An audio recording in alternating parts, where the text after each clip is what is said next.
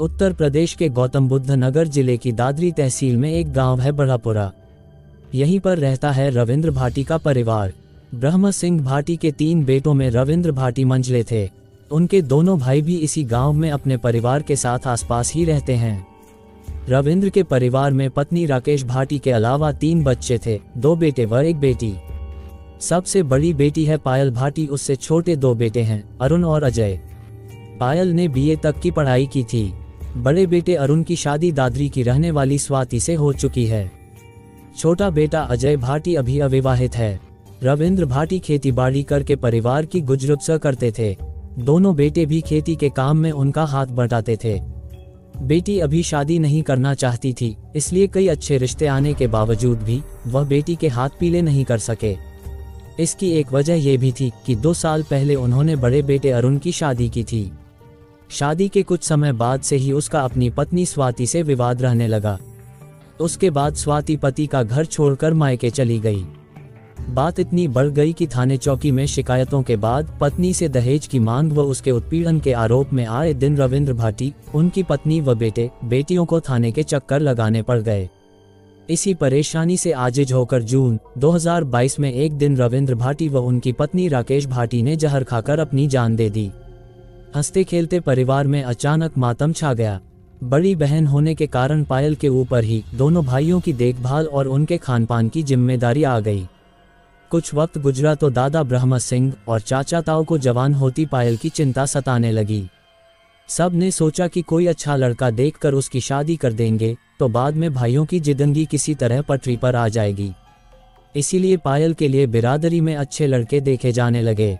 रविंद्र और उनकी पत्नी की मौत के बाद परिवार की ज़िंदगी की गाड़ी पटरी पर लौट ही रही थी। कि एक और हादसे ने परिवार को तोड़कर रख दिया। 13 नवंबर 2022 को सुबह दादरी पुलिस को सूचना मिली कि बड़ापुरा गाँव में एक लड़की की लाश उसके घर के अंदर मिली है। पुलिस जब गाँव में पहुँची तो पता चला कि लाश रविंद्र भाटी की इकलौती बेटी पायल भाटी की है। हालाँकि लाश का चेहरा इतनी बुरी तरह जल चुका था कि उसे पहचानना मुश्किल ही नहीं नामुमकिन था। गर्दन भी बुरी तरह जली हुई थी, जबकि हाथ की कलाई पर किसी धारदार हथियार से काटे जाने के बाद ज़्यादा खून बहने के कारण उसकी मौत हो गई थी। ऐसा लगता था कि किसी हादसे के कारण उसका चेहरा जलने से क्षत विक्षत हुआ था, क्योंकि लाश घर के अंदर ही मिली थी और शव के ऊपर कपड़े भी वही थे जिन्हें पायल रात को पहनकर सोई थी। इसलिए परिवार को पुलिस से ये बताने में कोई संकोच नहीं हुआ कि मरने वाली पायल थी। पायल की मौत कैसे हुई और जब वो खुदकुशी कर रही थी? तो परिवार में किसी को पता क्यों नहीं चला? परिवार वालों से जब पुलिस ने ये वाजिब सवाल किया तो इसका उत्तर भी पायल के भाइयों ने बड़े वाजिब तरीके से ही दिया। उन्होंने बताया कि 12 नवंबर की रात को वे करीब 9 बजे खाना खाकर सोए तो जल्द ही गहरी नींद की आगोश में समा गए। उन्होंने बताया कि ऐसा लगा कि वे महीनों से सोए नहीं हैं। सुबह उठे तो देखा कि पायल अपने कमरे में बिस्तर के पास ज़मीन पर मृत पड़ी थी। उसका चेहरा बुरी तरह जला हुआ था और हाथ की नस धारदार हथियार से कटी थी, जिससे निकलने वाले खून का सैलाब आसपास फैल चुका था। बिस्तर पर ही पायल की हैंडराइटिंग में लिखा हुआ एक पत्र पड़ा था, जो उसने शायद मरने से पहले लिखा था। पुलिस ने भाइयों से वह पत्र लेकर पढ़ा तो पायल के खुदकुशी करने की वजह भी साफ़ हो गई। सुसाइड नोट में पायल ने लिखा था, आज पूरी बनाते समय मेरा चेहरा कड़ाही का गर्म तेल छलकने के कारण बुरी तरह झुलस गया। मेरा चेहरा इतना विकृत हो गया कि अब समाज में मुझे कोई पसंद नहीं करेगा। मेरे माता पिता ने कर्ज के बोझ के कारण पहले ही अपनी जान दे दी थी। ऐसी हालत में मैं अपने भाइयों पर बोझ नहीं बनना चाहती। इस वजह से मैं अपने हाथ की नस काट कर अपनी जान दे रही हूँ। अपने परिवार के सभी लोगों से मैं इसके लिए माफ़ी चाहती हूँ। जला हुआ चेहरा, हाथ की कटी हुई नस और परिवार वालों का ये कहना है कि जो शव मिला है वो पायल का ही है। इससे शक की गुंजाइश नहीं थी। लिहाजा दादरी पुलिस ने आत्महत्या का मामला दर्ज करके पायल के शव का पोस्टमार्टम कराया और उसे घर वालों को सौंप दिया। घर वालों ने उसी दिन पायल के शव का अंतिम संस्कार कर दिया। 21 नवंबर को तेरहवीं की रस्म भी कर दी गई। इस दौरान पूरे गाँव में एक ही बात की चर्चा होती रही कि ऐसी कौन सी बुरी दशा थी? कि छह महीने के भीतर ही भाटी परिवार में तीन लोगों ने मौत को गले लगा लिया। लेकिन कहते हैं कि वक्त का मरहम बड़े से बड़े जख्म को भर देता है। वक्त फिर तेज़ी से बीतने लगा। जिस वक्त दादरी थाना क्षेत्र के बड़ापुरा गाँव में ये हादसा हो रहा था, उसी दिन बिसरक थाना क्षेत्र के सूरजपुर से एक युवती हेमा चौधरी अचानक रहस्यमय ढंग से लापता हो गई थी। दरअसल 15 नवंबर की सुबह सूरजपुर के सुनारों वाली गली में रहने वाली मुमतेश चौधरी नाम की महिला ने बिसरक थाने में पहुंचकर एसएचओ उपेंद्र कुमार से मुलाकात की और उन्हें शिकायत दी कि उसकी छोटी बहन हेमा चौधरी उसके पास रहती थी और गौर सिटी माल के वेन हुसैन मॉल में काम करती थी। वह 12 नवंबर से लापता है। मुमतेश ने बताया कि उसकी बहन हेमा ने शाम को उसे फ़ोन करके बताया था। कि वह एक सहेली के घर बर्थडे में जा रही है, रात को घर नहीं आएगी। लेकिन अगले दिन जब मुमतेश ने हेमा को फ़ोन किया तो उसका फ़ोन बंद मिला। कई बार प्रयास करने पर भी जब हेमा से संपर्क नहीं हो सका तो मुमतेश ने उसके शोरूम में फ़ोन किया। वहाँ से पता चला कि वो तो उस रोज काम पर पहुँची ही नहीं। 12 नवंबर की शाम को जाने के बाद उसने फ़ोन करके भी ये नहीं बताया कि वह अगले दिन काम पर नहीं आएगी। मुमतेश को यह भी नहीं पता था कि हेमा किस सहेली के घर गई है। उसने हेमा के सभी पहचान वालों को फ़ोन करके उसकी खैरकब जानने का प्रयास किए। लेकिन कहीं से कोई सुराग नहीं मिला। थकहार कर मुमतेश ने 15 नवंबर को बिसरक थाने में हेमा की गुमशुदगी रिपोर्ट दर्ज करा दी। एसएचओ उपेंद्र कुमार ने हेमा की गुमशुदगी का मामला दर्ज करवाकर एसआई उपेंद्र को जाँच सौंप दी। एसआई उपेंद्र ने गुमशुदगी के मामले में की जाने वाली औपचारिकताओं को पूरा करने के बाद उस शोरूम में जाकर पूछताछ की, जहाँ हेमा काम करती थी। वहाँ पता चला कि शाम को वह निकल गई थी, उसके बाद उसने कोई संपर्क नहीं किया। दिक्कत ये थी कि हेमा का फ़ोन लगातार बंद आ रहा था। हेमलता चौधरी मूल रूप से मथुरा ज़िले की रहने वाली थी। शादी हो चुकी थी, लेकिन एक बच्चा होने के बाद पति ने उसे गलत चाल चलन का आरोप लगाकर बिना बच्चे के घर से निकाल दिया था। पति से अलग होने के बाद बेसहारा हुई हेमलता सूरजपुर इलाके में सुनारों वाली गली में बड़ी बहन मुमतेश के पास आ गई, जो वहाँ अपने परिवार के साथ रहती थी। गुजरबसर के लिए हेमा कुछ महीना पहले ग्रेटर नोएडा के गौर सिटी मॉल के वेन हुसैन शोरूम में सेल्स गर्ल की नौकरी करने लगी। इधर, एसआई उपेंद्र ने जब गुमशुदगी की जाँच को आगे बढ़ाते हुए हेमा के फ़ोन की कॉल डिटेल्स निकलवाई तो पता चला कि उसके फ़ोन की आखिरी लोकेशन बदपुरा गाँव में रविंद्र भाटी के घर पर थी। कॉल डिटेल्स की जाँच से ये भी पता चला कि उसकी आखिरी बातचीत जिस नंबर पर हुई थी, वह नंबर बुलंदशहर में रहने वाले किसी अजय ठाकुर का था। अजय ठाकुर की लोकेशन भी उस वक्त बड़ापुरा में वहीं पाई गई, जहाँ हेमलता के फ़ोन की थी। एसआई उपेंद्र सबसे पहले बड़ापुरा में रविंद्र भाटी के घर पहुँचे। वहाँ पहुँचने के बाद पता चला कि 12 नवंबर की रात तो परिवार की बेटी पायल ने खुदकुशी कर ली थी। एसआई उपेंद्र समझ नहीं पा रहे थे कि आखिर हेमलता इतनी दूर वहाँ किससे मिलने आई थी। क्योंकि पायल के दोनों भाई भी इस बात से इनकार कर चुके थे कि वो हेमा को जानते हैं। पायल के परिवार व गाँव वालों के बयानों की तस्दीक करने के लिए जब एसआई उपेंद्र दादरी थाने गए तो वहाँ ये बात साफ़ हो गई कि पायल ने वाकई खुदकुशी की थी। दादरी पुलिस ने उन्हें पायल की लाश के फ़ोटो भी दिखाए, जिसमें उसका चेहरा व गर्दन बुरी तरह जलकर विभत्स हो गए थे। उसे देखकर कोई पहचान ही नहीं सकता था कि लाश किस लड़की की है। एसआई उपेंद्र अजय ठाकुर की तलाश में बुलंदशहर पहुँचे। अजय ठाकुर मूल रूप से बुलंदशहर में, सिकंदराबाद के महेपा जागीर गाँव का रहने वाला था। अजय ठाकुर खेती बाड़ी करता था। भरपूरे संयुक्त परिवार के युवक अजय ठाकुर के परिवार में माता पिता और भाई बहनों के अलावा पत्नी सुमन और पाँच व तीन साल के दो बेटे थे। परिवार वालों से एसआई उपेंद्र ने जब अजय के बारे में पूछा तो पता चला कि अजय भी 12 नवंबर 2022 से ही लापता है। वह 12 नवंबर को घर से नोएडा जाने की बात कहकर बाइक से निकला था, उसके बाद से घर नहीं लौटा। इतना ही नहीं, उसके फ़ोन जब जब कॉल की गई तो बंद मिला। अजय के लापता होने पर घर वालों ने उसकी हत्या की आशंका जताते हुए सिकंदराबाद थाने में 14 नवंबर 2022 को उसकी गुमशुदगी दर्ज करा दी थी। एसआई उपेंद्र ने जब सिकंदराबाद थाने जाकर इस बात की तस्दीक की तो अजय ठाकुर के परिवार की बात सही पाई गई। इसके बाद तो एसआई उपेंद्र के लिए हेमा चौधरी की गुमशुदगी एक रहस्य भरी फ़िल्म बन गई, क्योंकि हेमा तक पहुँचने के जिस संपर्क सूत्र तक पुलिस पहुँच रही थी पता चलता कि या तो उसकी मौत हो चुकी है या वो लापता है।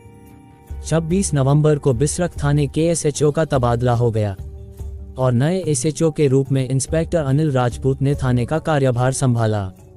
उन्होंने जब थाने में लंबित विवेचनाओं की जानकारी ली तो एसआई उपेंद्र के पास हेमा चौधरी की गुमशुदगी के बारे में पता चला। मामला बेहद दिलचस्प था। एसएचओ अनिल राजपूत ने एसआई उपेंद्र की मदद के लिए कांस्टेबल राजीव कुमार, अनिल कुमार, शिवांक धालिया, सरविंद्र कुमार और महिला कांस्टेबल ज्योति की टीम बना दी। साथ ही टीम को हेमा चौधरी के अलावा अजय ठाकुर और पायल भाटी के मोबाइल फ़ोन नंबरों की कॉल डिटेल्स निकलवाने और अजय ठाकुर के फ़ोन को सर्विलांस पर लगवाने का आदेश दिया। इसका सुखद परिणाम जल्द ही सामने आया। पायल, हेमा और अजय पाल की कॉल डिटेल्स खंगालने के बाद सामने आया कि अजय और पायल कई महीनों से एक दूसरे को जानते थे। दोनों के बीच कई बार लंबी लंबी बातचीत होती थी। पिछले कुछ दिनों से अजय हेमा से भी उसके फ़ोन पर बातचीत कर रहा था। इतना ही नहीं 12 नवंबर की रात पायल, हेमा और अजय की लोकेशन एक साथ होना इस बात का साफ़ इशारा था कि एक मौत और दो गुमशुदगी का आपस में कोई न कोई संबंध ज़रूर है। क्योंकि तीन लोग जिनमें दो महिलाएँ थीं, एक रात को साथ थे। इनमें से एक महिला खुदकुशी कर लेती है। उसकी भी पहचान नहीं होती, पहचान भी परिवार द्वारा कपड़ों से की जाती है। इसके बाद बाकी दो लोग लापता पाए जाते हैं। ये सारे संयोग कई सवाल खड़े कर रहे थे। कॉल डिटेल्स और सर्विलांस की मदद से पुलिस को जल्द ही इस बात का पता चल गया। कि अजय का फ़ोन कभी स्विच ऑफ़ हो जाता है तो कभी काम करने लगता है। 12 नवंबर 2022 के बाद जब भी अजय का मोबाइल फ़ोन इस्तेमाल हुआ, उससे कुछ खास नंबरों पर ही बात हुई। उनमें से एक नंबर ऐसा भी था, जो अजय के नाम पर ही रजिस्टर्ड था, लेकिन उसकी लोकेशन भी अजय के पुराने नंबर के साथ ही थी। जाँच पड़ताल के बाद एसआई उपेंद्र को यह भी पता चला कि अजय अपने बैंक अकाउंट से नेट बैंकिंग के ज़रिए ट्रांजैक्शन कर रहा है। इसका मतलब साफ़ था कि वो सही सलामत है। लेकिन हेमलता के बारे में जानने के लिए पुलिस का अजय तक पहुँचना ज़रूरी था। अजय ठाकुर के नंबर पर लगातार सर्विलांस की मदद से निगाह रखी जाने लगी। पुलिस ने अजय ठाकुर के घर से उसका फ़ोटो व अन्य जानकारियाँ हासिल कर ली थीं। इंस्पेक्टर अनिल राजपूत को पहली दिसंबर 2022 की दोपहर एसआई उपेंद्र कुमार ने बताया कि अजय पाल शाम को चार मूर्ति गोल चक्कर के पास किसी से मिलने के लिए आने वाला है। सूचना चून की सर्विलांस की मदद से और एक ऐसे व्यक्ति के ज़रिए मिली थी जो अजय ठाकुर के लगातार संपर्क में था, इसलिए संदेह की गुंजाइश नहीं थी। शाम को चार बजे से ही पुलिस ने उस इलाके में जाल बिछा कर घेराबंदी कर दी, जहाँ अजय ठाकुर के आने की सूचना मिली थी। पुलिस का टारगेट वो इंसान था, जिससे अजय मिलने आने वाला था। शाम को आठ बजे इंतज़ार की घड़ियाँ खत्म हुई। बाइक पर सवार होकर अजय ठाकुर जब अपने परिचित से मिलने पहुँचा तो उसके साथ एक युवती भी थी। पुलिस ने दोनों को दबोच लिया। अजय ठाकुर को पकड़ते ही इंस्पेक्टर अनिल राजपूत का उससे पहला सवाल था, हेमलता कहाँ है? कहाँ छिपा रखा है उसे? पुलिस के चंगुल में फंसते ही अजय के पांवों तले से ज़मीन खिसक गई। सकपका अजय को समझ ही नहीं आया कि वो क्या करे। हकलाते हुए उसने जवाब दिया, कौन हेमलता साहब? मैं किसी हेमलता को नहीं जानता तो उसे छिपाऊँगा क्यों? लगता है ये ऐसे नहीं बताएगा। थाने ले चलो इसे, वहीं इसे सब याद आ जाएगा। इंस्पेक्टर राजपूत ने कहा, पुलिस दोनों को पकड़कर बिसरक थाने ले आई। तब तक पुलिस को ये पता ही नहीं था कि उसके साथ जो लड़की है, वो कौन है। अलबत्ता थाने लाकर जब दोनों की तलाशी ली गई तो पुलिस को अजय ठाकुर की जेब से एक मैरिज सर्टिफिकेट मिला, जो उस युवती के साथ अजय की अदालत में रजिस्टर्ड हुई, मैरिज का था, जो उसके साथ थी। सर्टिफिकेट पर अजय के साथ युवती का नाम पायल लिखा था। मैरिज सर्टिफिकेट देखकर अनिल राजपूत का दिमाग भी घूम गया। क्योंकि शादीशुदा अजय ठाकुर अपनी पत्नी और बच्चों के रहते दूसरी शादी कैसे कर सकता था? इंस्पेक्टर राजपूत का दिमाग घूमने की सबसे बड़ी वजह यह थी कि जिस लड़की से उसने शादी की थी, वो पायल थी। वही पायल, जिसके घर के पास हेमलता और राकेश के फ़ोन की लोकेशन मिली थी। जिस रात वह गायब हुई थी, सबसे हैरानी की बात यह थी कि पायल की तो मौत हो चुकी थी। अगर पायल सही सलामत है तो उसके घर में जो लड़की मृत पाई गई थी, वो कौन थी? एसएचओ अनिल राजपूत ने महिला पुलिस के माध्यम से पायल के साथ पूछताछ की और उसके परिवार की जानकारी लेकर बदपुरा गाँव से उसके भाइयों व दादा को बुलवा लिया। थाने में आने के बाद जब परिवार ने पायल को ज़िंदा देखा तो सबके पांवों तले की ज़मीन खिसक गई। घर की जिस बेटी को मृत समझ कर वे उसका अंतिम संस्कार यहाँ तक कि तेरहवीं कर चुके थे, वो आखिर ज़िंदा कैसे हो गई? उन्होंने इंस्पेक्टर राजपूत को पायल की खुदकुशी के बारे में सब कुछ बता दिया। तो माजरा कुछ कुछ उनकी समझ में आ गया। अजय ठाकुर और पायल भाटी से जब सख्ती से पूछताछ की गई तो सारी कहानी सामने आ गई। पुलिस पूछताछ में सामने आया कि पायल भाटी ने कैसे अपने प्रेमी अजय ठाकुर के साथ ज़िंदगी बिताने और अपने माता पिता की मौत के जिम्मेदार लोगों से इंतकाम लेने के लिए एक फिल्मी साजिश रचकर एक बेगुनाह लड़की का कत्ल कर दिया। इसके बाद उसकी लाश को अपनी पहचान देकर खुद को मरा हुआ साबित कर दिया। पायल और अजय ठाकुर से पूछताछ के बाद, इंस्पेक्टर अनिल राजपूत ने एसीपी अरविंद कुमार और एडिशनल डीसीपी साद खान को विस्तार से इस पूरे घटनाक्रम के बारे में बताया। वे भी तत्काल थाने पहुँच गए, जिस हेमलता की वे गुमशुदा मानकर तलाश की रहे थे, उसकी हत्या हो चुकी थी। इतना ही नहीं, उसके शव का अंतिम संस्कार भी हो चुका था। लिहाजा सबूतों की तलाश में पुलिस की टीम फोरेंसिक टीम को लेकर पायल के घर पहुँची। टीम ने उसके पूरे घर के साथ उस कमरे को बारीकी से खंगाला, जहाँ हेमलता की हत्या कर उसे अपने कपड़े पहना दिए थे। और उसे खुदकुशी का रंग दे दिया था। वारदात को 18 दिन बीत जाने के बाद भी पुलिस को पायल के घर की सीढ़ियों से खून के कुछ सूखे हुए निशान मिल गए, जो शायद हेमा के खून के थे। पुलिस द्वारा की गई पूछताछ में पायल ने बताया। कि माता पिता की मौत के बाद वह बुरी तरह टूट गई थी। लेकिन कुछ दिन बाद ही उसकी जान पहचान फेसबुक के ज़रिए सिकंदराबाद के रहने वाले अजय ठाकुर से हुई। पहली ही नज़र में अजय उसके दिल को भा गया। पायल फेसबुक और इंस्टाग्राम पर दिल टूटने वाली शायरी और ऐसे ही वीडियो बनाकर डालती थी, जो अजय को बहुत पसंद आते थे। फेसबुक की जान पहचान जल्द ही मुलाकात में बदल गई और मिलते जुलते न जाने कब वो एक दूसरे को दिल दे बैठे, पता ही नहीं चला। उन्हें एहसास तब हुआ जब दोनों का एक दूसरे के बिना कुछ भी अच्छा नहीं लगता। इसके बाद दोनों ने साथ जीने मरने की कस्में खानी शुरू कर दीं। अजय शादीशुदा और दो बच्चों का बाप था, ये बात उसने पायल को साफ़ बता दी।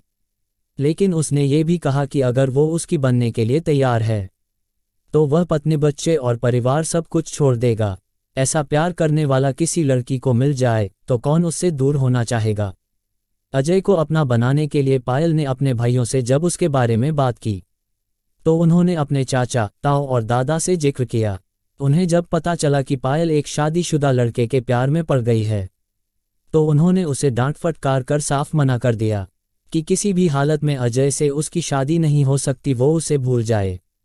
दादा ब्रह्म सिंह ने दुनिया देखी थी, उन्हें पता था, कि जवान लड़की जब एक बार किसी इंसान से दिल लगा बैठती है तो ज़्यादा दिन तक उसके पाँव में बंधन की बैदियाँ नहीं डाली जा सकती। लिहाजा उन्होंने जल्द से जल्द पायल के हाथ पीले करने का मन बना लिया। इसके बाद चाचा, ताऊ और दादा सब मिलकर पायल के लिए लड़का देखने लगे। उसके लिए गहने भी तैयार करवाए जा रहे थे। दिल्ली और दूसरे इलाकों में पायल के लिए लड़के भी देखे जा रहे थे। लेकिन पायल तो अजय के साथ रहना चाहती थी। पायल के दिल में पहले से ही इस बात की टीस थी कि उसके माता पिता ने जिन लोगों से परेशान होकर खुदकुशी की थी, वे आज़ाद घूम रहे हैं। दरअसल, पायल के परिवार ने जिन लोगों के खिलाफ मुकदमा दर्ज कराया था, उन्होंने कोर्ट में जमानत याचिका दाखिल की और तीन आरोपियों को अग्रिम जमानत मिल गई थी। इधर चाचा, ताऊ व दादा ने उसके प्यार को भी उससे दूर रखने की जिद पकड़ ली थी। अपने प्यार को हासिल करने और इंतकाम को पूरा करने के लिए, पायल के दिमाग में अपराध का कीड़ा कुल बुलाने लगा। वह सोचने लगी कि आखिर ऐसा क्या किया जाए, कि अजय हमेशा के लिए उसका हो जाए। और माता पिता की मौत के जिम्मेदार लोगों को भी वह सजा दे सके। दादरी पुलिस ने पायल के परिवार की शिकायत पर पायल के माता पिता की मौत में आत्महत्या के लिए प्रेरित करने की धारा में मुकदमा दर्ज किया था, जिसमें स्वाति, उसके भाई और दो अन्य लोगों को नामजद कराया गया था। लेकिन दादरी पुलिस नामजद किए गए आरोपियों को गिरफ़्तार नहीं कर सकी। क्योंकि उनकी गिरफ्तारी से पहले पायल के माता पिता की विसरा रिपोर्ट की ज़रूरत थी, जो अभी तक नहीं मिली थी। इसलिए पायल दुखी थी और माता पिता की मौत के जिम्मेदार लोगों से खुद ही बदला लेना चाहती थी। पायल के दिमाग में अपराध का जो कीड़ा कुलबुला रहा था, उसके तहत उसने एक फिल्मी साजिश रची, जिसमें पायल को अपनी जगह किसी दूसरी लड़की का कत्ल करके, उसे अपनी पहचान देकर फरार होना था। पायल को यह आइडिया एक टीवी सीरियल से मिला था। दरअसल कई साल पहले पायल ने एक टीवी सीरियल देखा था, जिसमें एक लड़की अपनी शक्ल, सूरत और कदकाठी से मिलती, किसी दूसरी लड़की की हत्या कर उसका चेहरा जला देती है, ताकि उसकी पहचान न हो सके। बाद में शव के पास कुछ ऐसी चीज़ें छोड़ देती है, जिससे लोग दूसरी लड़की के शव को उसी का समझें। बाद में खुद को मरा साबित करने वाली लड़की अपराध की वारदातों को अंजाम देती है। इस सीरियल के अलावा भी पायल ने ऐसे कुछ किस्से कहानियाँ पढ़े थे, जिनमें कोई शख्स किसी दूसरे आदमी की हत्या कर उसे अपनी पहचान दे देता है। इसी से प्रेरित होकर पायल ने भी अजय ठाकुर से कहा कि अगर वह उसकी मदद कर दे तो दो काम एक साथ हो सकते हैं। वे ज़िंदगी भर के लिए साथ हो सकते हैं और वह अपने माता पिता की मौत के जिम्मेदार लोगों से बदला भी ले सकती है। अजय ने पूछा, कैसे? तो पायल ने उसे तरकीब भी बता दी पायल ने कहा कि वो किसी ऐसी लड़की का इंतज़ाम कर दे, जिसकी लंबाई पाँच फुट चार इंच हो और कदकाठी उससे मिलती होने के साथ। हुलिया और बालों की बनावट भी उसके जैसी हो। उससे क्या होगा? अजय ने पूछा। तुम उस लड़की को पटाकर मेरे पास लाओगे और हम उसकी हत्या कर देंगे। उस लड़की का चेहरा ऐसा कर देंगे कि उसकी पहचान न हो सके। उसे अपने कपड़े पहनाकर हम दोनों यहाँ से भाग जाएँगे। उसके बाद हम शादी भी कर लेंगे और मैं अपने दुश्मनों से इंतकाम भी ले लूँगी। पायल ने पूरी प्लानिंग अजय को बता दी। आइडिया तो एकदम बेहतरीन है, लेकिन पायल जैसी लड़की मिलेगी कहाँ? इस बात पर दिमाग लड़ाते लड़ाते अजय ने अपने एक दो दोस्तों से इस बात का ज़िक्र भी किया। अजय का एक दोस्त था नवीन जो गौर सिटी मॉल में काम करता था। नवीन कुछ रंगीन मिजाज का था। कालगल का पेशा करने वाली बहुत सी लड़कियाँ उसके संपर्क में थीं। वैसे भी जिस काम के लिए अजय को लड़की चाहिए थी, उसके लिए बदनाम लड़की ही उसके साथ चलने के लिए तैयार हो सकती थी। अजय ने अपने दोस्त नवीन से कहा कि किसी अच्छी सी लड़की से उसकी भी दोस्ती करवा दे ताकि वो भी मौज मस्ती कर सके। साथ ही उसने कदकाठी और हुलिये के बारे में भी बता दिया कि कैसी लड़की चाहिए। नवीन के पास तो ऐसी लड़कियों की भरमार थी। उसने अपने पास मौजूद कई लड़कियों की फ़ोटो अजय को व्हाट्सएप पर भेजी। लेकिन कोई भी लड़की ऐसी नहीं थी जिसका हुलिया व कदकाठी पायल से मिलती हो। आखिर जब उसने हेमा चौधरी की फ़ोटो अजय को भेजी और अजय ने वह फ़ोटो पायल को दिखाई तो उसने एकदम हामी भर दी। हेमा का हुलिया ही नहीं कदकाठी और बालों की बनावट भी पायल जैसी ही थी। बस उसके बाद तो इस साजिश को आगे बढ़ाने का सिलसिला शुरू हो गया। पहले अजय ने अपने दोस्त नवीन के ज़रिए गौर सिटी मॉल के वेन हुसैन शोरूम में काम करने वाली हेमा से मुलाकात की। शुरू की एक दो मुलाकातों में अजय ने उससे बस कॉफ़ी शॉप और पिज्जा काना में बैठकर बातचीत की और उसके साथ खाना पीना किया। इन दो मुलाकातों में ही उसने हेमा को दो बार गिफ्ट देकर उसे पूरी तरह प्रभावित कर लिया। दूसरी मुलाकात में तो उसने हेमा को शॉपिंग में कुछ कपड़ों की खरीदारी भी करवा दी। इस दौरान बातों ही बातों में उसने हेमा से इस बात की टोह ले ली थी कि अगर वो उसे अपने साथ कहीं चलने को कहे तो वह इनकार तो नहीं करेगी। हेमा आर्थिक परेशानियों में घिरी थी। उसने कहा कि वह चल सकती है। अगर वो इस बात के लिए उसे पाँच हज़ार रुपये दे तो। अजय को पहले से ही इस बात का अंदाज़ा था। लिहाजा उसने झट से हामी भर दी। अब उसे भरोसा हो गया कि हेमा उसके साथ आँख बंद करके चल देगी। लिहाजा उसने पायल को ये बात बता दी। इसके बाद 12 नवंबर 2022 की तारीख तय हुई, जब अजय को हेमा को लेकर बड़ापुरा गाँव में पायल के घर जाना था। उस दिन अजय ने सुबह ही हेमा को बता दिया कि शाम को उसे उसका दिल बहलाने के लिए साथ चलना होगा। हेमा ने शाम को सात बजे मिलने की हामी भी भर दी। इधर पायल ने अपने घर में तैयारी कर ली। उसने शाम को जब खाना बनाया तो उसमें प्रेमी के द्वारा लाई गईं। नींद की बीस गोलियाँ मिलाकर दोनों भाइयों को खाना खिला दिया। रात को नौ बजे खाना खाते ही दोनों भाई कुछ देर में गहरी नींद सो गए। रात को करीब दस बजे अजय अपनी बाइक पर हेमा को साथ लेकर पायल के घर पहुँचा। हेमा ने उसके बारे में पूछा तो अजय ने उसका परिचय अपनी रिश्तेदार के रूप में कराया। पायल ने उसे भी नशे की गोलियाँ मिला खाना खिलाया, लेकिन पायल और अजय ने दूसरा खाना खाया। खाना खाने के बाद हेमा पर नींद सवार होने लगी तो दोनों ने मिलकर उसे पायल के कमरे में सुला दिया। हेमा की बेहोशी के बाद उन्होंने उसकी हत्या कर दी। पहले उसका गला दबाया फिर उसे रसोई में ले जाकर। उसके चेहरे व गर्दन पर खोलता हुआ सरसों का तेल डाल दिया। उसकी मौत आत्महत्या लगे, इसलिए कलाई की नस भी चाकू से काट दी। इसके बाद शव को बिस्तर के पास ज़मीन पर डाल दिया। बाद में पायल ने रसोई व कमरे में फैले तेल के धब्बे साफ़ कर दिए और इस तरह के हालात बना दिए। जैसी कहानी वो बनाने वाली थी। बाद में उसने सुसाइड नोट के रूप में अपनी आत्महत्या का एक पत्र लिखकर बिस्तर पर रख दिया। उसने जिस चेहरे के साथ हेमा की गर्दन पर इसलिए खोलता तेल डालकर जलाया था, क्योंकि पायल की गर्दन पर एक ऐसा निशान था, जिसे देखने के बाद ये साफ़ हो जाता कि शव पायल का नहीं है। इसलिए उस जगह पर उसने तेल डाल दिया, जिससे निशान का पता ही न चले।